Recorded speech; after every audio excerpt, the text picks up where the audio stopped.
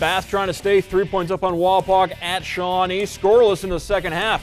Lady Wildcats attacking Anna Brandon crosses. Jaden Hale heads it. Kennedy Fagan shoots. Blocked in front by Olivia Adams and cleared away. Still nil nil. Bath keeping the pressure on.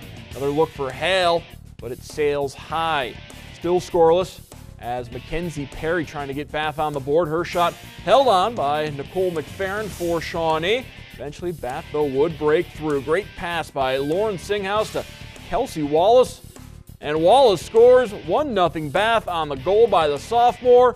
And Bath would win by that 1 0 final.